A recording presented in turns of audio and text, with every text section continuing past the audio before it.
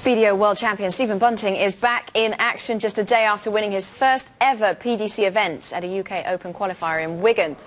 Bunting has switched full-time to the PDC following his lakeside win last month and having already faced PDC World Champion Michael van Gerwen in a qualifier on Friday night. Bunting told us he's delighted to be playing regularly amongst the game's elite.